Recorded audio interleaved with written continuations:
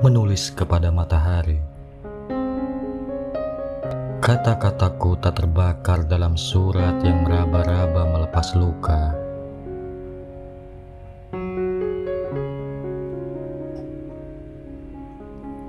Rindu pada pena.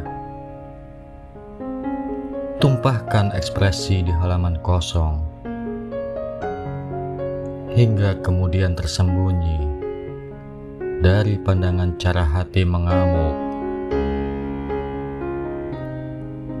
Imaji yang saling bertemu. Matahari mencair di langit gelap.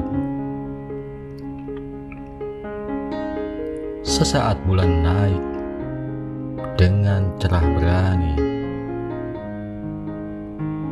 Kau sembunyi di bawah kerudung pohon, menjaga sebagai bayangan.